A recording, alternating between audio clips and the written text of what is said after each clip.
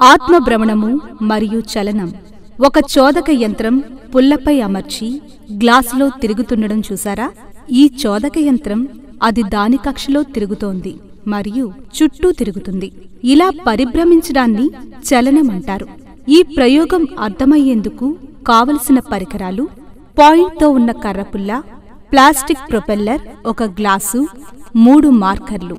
ఈ చోదక యంత్రం దళసరి ప్లాస్టిక్ కాగితంతో పదహారు రేకులుగా కత్తిరించుకోవాలి. ఈ రేకులు ఫ్యాన్ రెక్కల మాదిరిగా వంచుకోవాలి.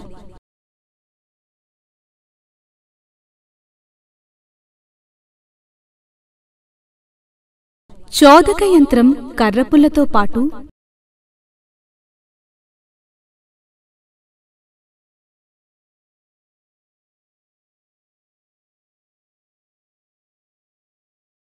పుల్ల కింద భాగం గ్లాసు లోపల కింద భాగపు అంచు తగిలేలా ఉంచాలి.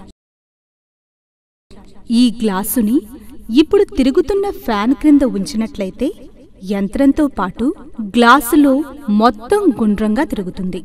ఇలా తిరగడాన్నే చలనం అంటారు. చలనం అనేది భ్రమణం అక్షంలో కలిగిన మార్పు.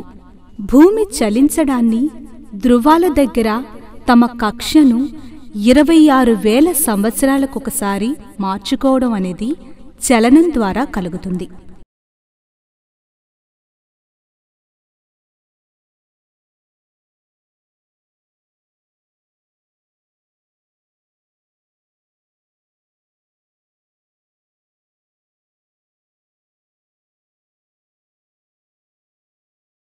ఈ చలనం అనేది భూమిపై సూర్యచంద్రుల గురుత్వాకర్షణ శక్తిని తెలియచేస్తుంది.